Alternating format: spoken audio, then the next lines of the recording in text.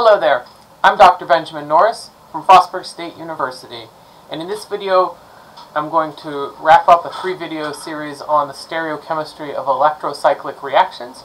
I plan to summarize the Woodward-Hoffmann rules for electrocyclic reactions and then we'll have some practice problems. In two videos prior to this that you can find linked in the comment and the description below, I introduced the stereochemical outcome of electrocyclic reactions under thermal conditions and under photochemical conditions. The summary of these are of these observations or this stereoselectivity are summarized as the Woodward-Hoffmann rules. Now, Woodward and Hoffmann did this work decades ago and ultimately received a Nobel Prize for helping to understand the mechanisms in stereochemistry of pericyclic reactions, not just electrocyclic reactions. So I'm going to make myself a little table here.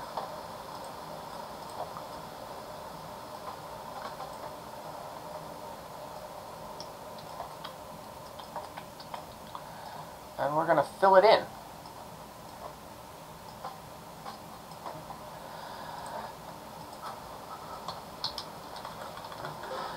And we define our we divide our types of reactants into those that have 4n electrons, so an even number of electron pairs, and those that have 4n plus 2 electrons, or, or an odd number of electron pairs.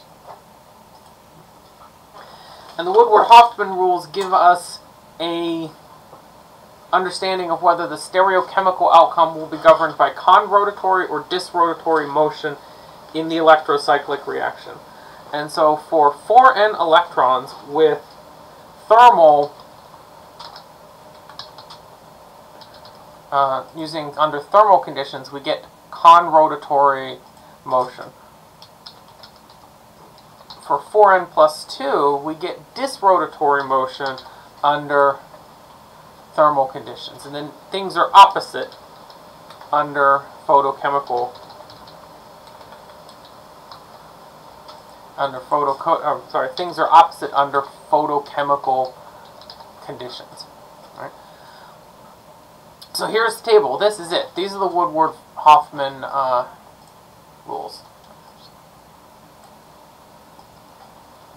make my line a little bigger here we go this is it so we can use this information to help us predict the stereochemical outcome of various reactions under different conditions. Okay. So let's do this one. Okay. Here's an electrocyclic reaction that's being done under heat or thermal conditions. And the first thing we need to do, right, we know we're under thermal conditions, but we need to know whether we have 4n electrons or 4n plus 2 electrons. And so what we need to do, we count up the pi electrons in the pi bonds in the system. And there are two pi bonds here. Right?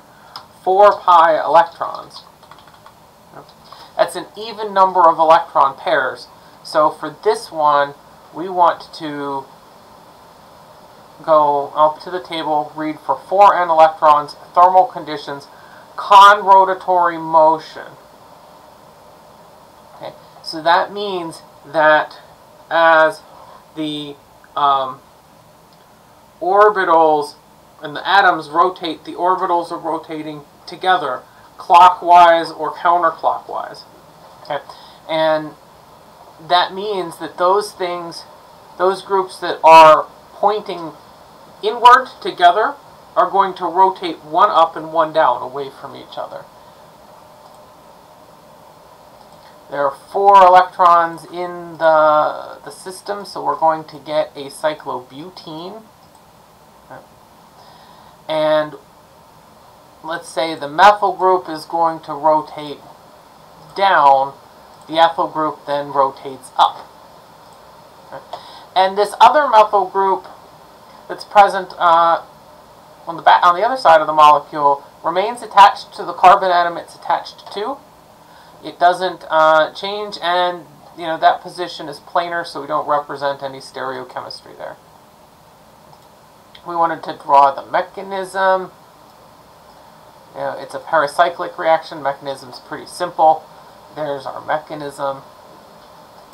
And because our reactant is achiral, this is also going to form the other enantiomer if we get the uh, rotation happening in the opposite direction. And then just for, for kicks, I'll draw that other enantiomer. Then we'll do another one.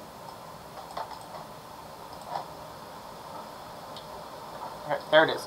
Right, you get the other enantiomer when the groups rotate in the opposite direction.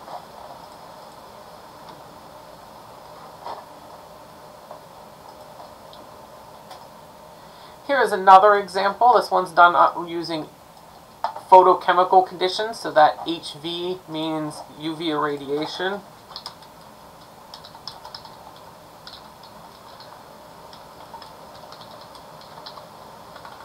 Alright, and again, we have 6 pi electrons. It's 12 total electrons. I'm sorry. No, we have 6 pi, we have, sorry, do this wrong. 3 pi bonds, which is total of 6 pi electrons. This is an odd number of electron pairs. Draw the mechanism. And we're going to, this because we're under photochemical conditions with 4n plus 2 electrons, we're going to have con-rotatory motion. So these things that are on the outside, one of them is going to rotate up and one of them is going to rotate down. There are hydrogen atoms in these positions. One will rotate up and one will rotate down. So when this ring closes together to give the Decalin kind of system here, we're going to get a trans ring fusion like this. And again, we're going to get both enantiomers because the, the reactant is achiral.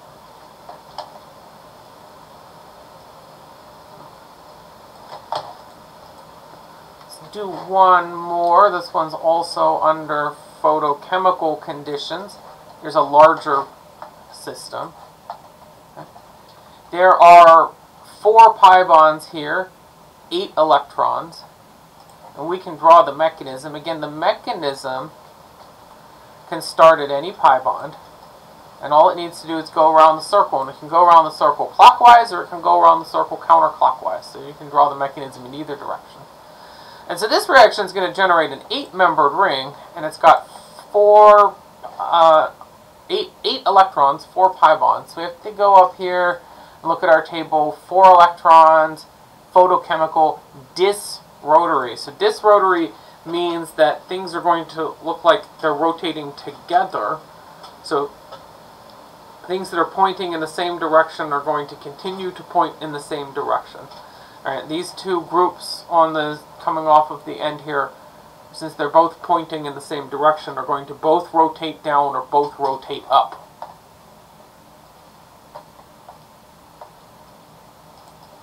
Let's get the uh, structure of our product here.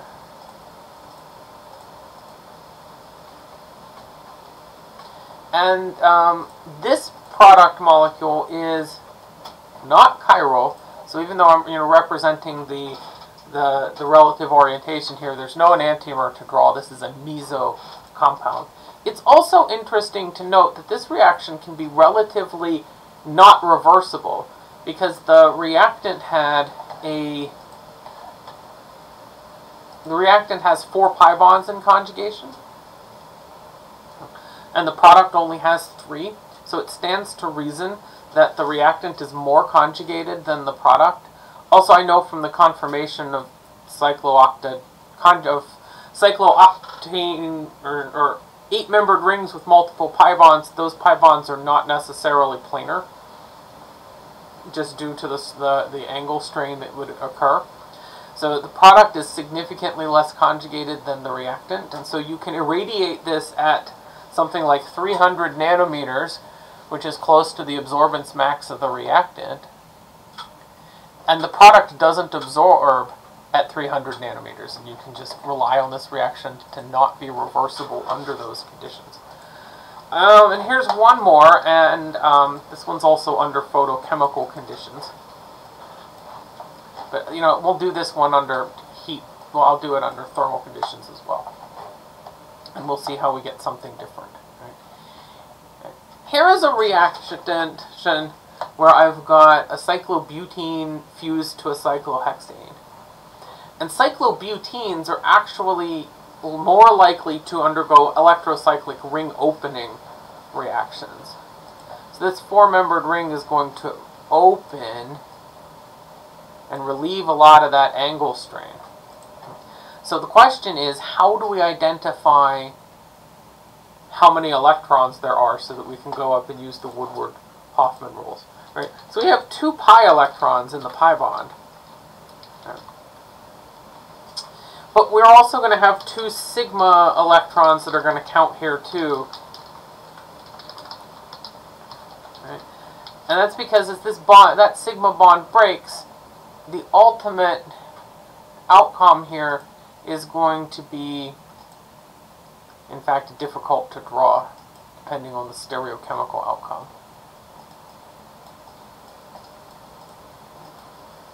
But that ring's going to open up to a 1,3-butadiene kind of system. The overall stereochemistry is yet to be seen, but it's going to open up here to something that has 4 pi electrons. So we have 4 electrons, so that's the first row, an even number of electron pairs, under photochemical conditions, so this is disrotatory.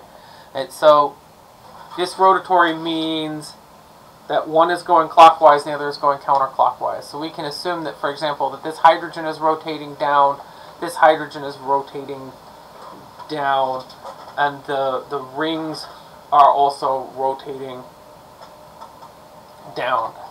And interestingly enough, this is going to end up with the ring being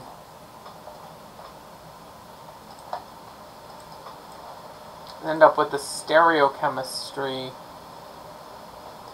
of the, the system being all cis. Right, those hydrogens, here they are, are rotating away from the structure into the plane of this molecule. Now, if this reaction were to be done under thermal conditions instead of photochemical conditions, if it was disrotatory under or under photochemical conditions, it's going to be conrotatory under thermal conditions, which means one hydrogen's rotating down, the other hydrogen's rotating up. And the stereochemistry in the structure of the product is going to be cis for one of the pi bonds and trans for the other. And then that, that gets tricky to draw. Let's see. One, two, three, four, five, six, seven, eight. Yeah, so this gets ugly because it's hard to represent eight carbon atoms all squished down like this. But it can be done. And it's not pretty, but there it is, right? It's cis on one end and one and trans on the other. And probably a reasonable amount of, of, of strain going around this system. So here are just four examples of uh, using the Woodward-Hoffmann uh, rules to predict the stereochemical outcome of uh, electrocyclic reactions. Thank you for watching.